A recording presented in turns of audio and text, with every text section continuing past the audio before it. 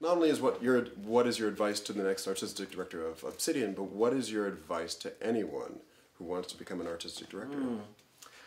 Um, I think I think the, you have to have the knowledge that you're going to grow on the job, and that you may not. None of it may be fully fleshed out. I think you've got to have some key things in place that you that you believe in, and you've got to know what your focus is. You have to know. Um, what are you what what what are you what are you hoping to achieve? I mean, if you're directing a play, you've got to know what are you trying to say with that. It's the same thing writ large.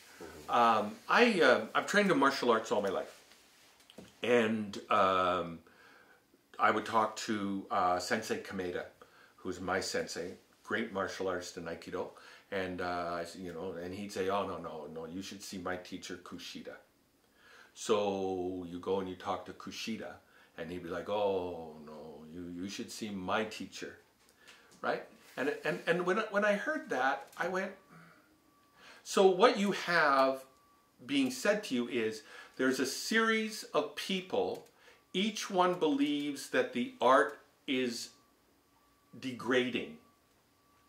So where am I on that scale, right? Mm-hmm. So I'm so far below. So I've achieved a whole bunch of stuff. I think that's a failure if the next generation of people coming up don't take everything that I have done and better it in every possible way. Because otherwise we're just we're just going downhill. So I believe the next generation of artists and artistic directors need to just kick my credit out the door. Then I'll know I've actually succeeded and that it wasn't all just a wank for, for, for 40 odd years. Mm-hmm. Um, they need to be better. They need to be better than me.